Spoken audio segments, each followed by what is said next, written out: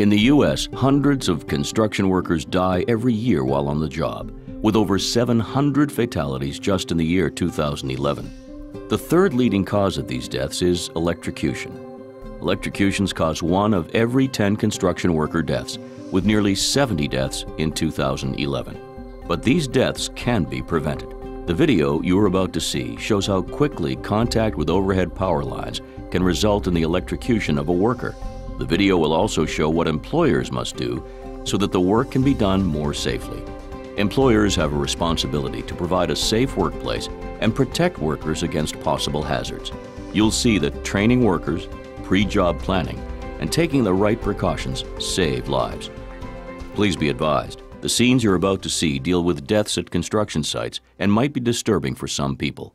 All scenes are based on true stories.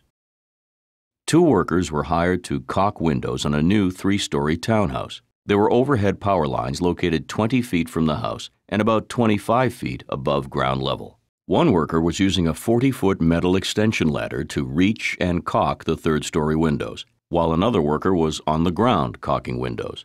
The ladder was extended to reach a vertical height of 31 feet above ground. The ladder's base was set 8 feet from the side of the townhouse. After the worker finished one window, he came down from the ladder.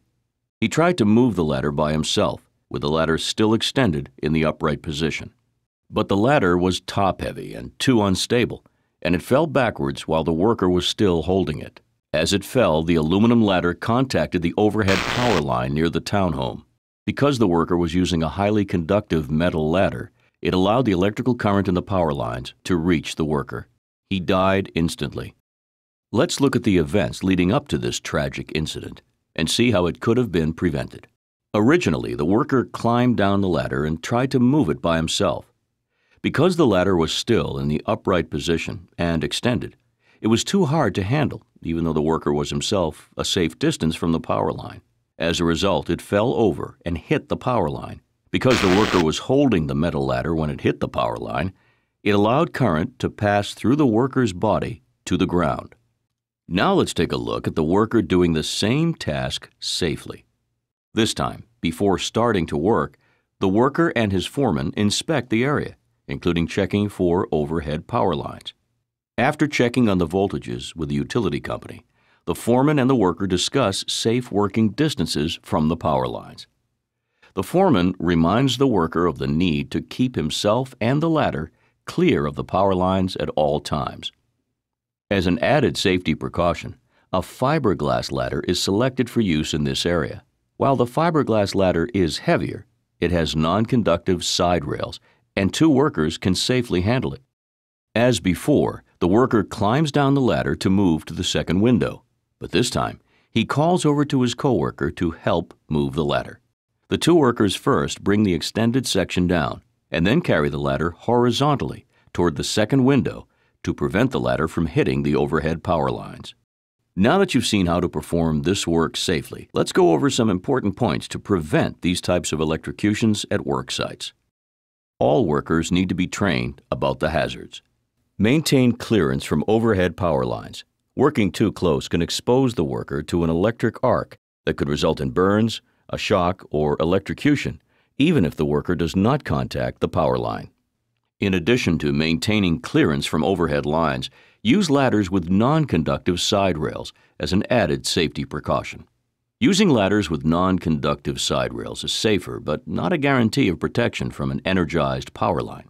In addition, ladders are not rated for electrical safety, so it is important to always use safety precautions that maintain safe distances from overhead power lines.